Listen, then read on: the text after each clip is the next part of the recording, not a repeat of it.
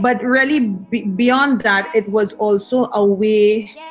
for us to see each other and to see ourselves. Um, i really wanted us to see ourselves. I, I remember thinking to myself if it is that all of the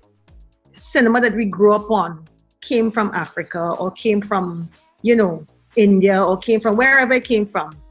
how would that have shaped us? Obviously, it would have shaped us because the cinema that we grew up on and the images that we grew up on are from North America and they're white images, you know, and even the black people that we saw in films, you know, now it's obviously changing, but back then they were the villains, the crooks, the, well, we know that story, right? And so I figured this would be a way to begin to just look at each other, enjoy each other through stories, um, get to learn about ourselves and each other through these films.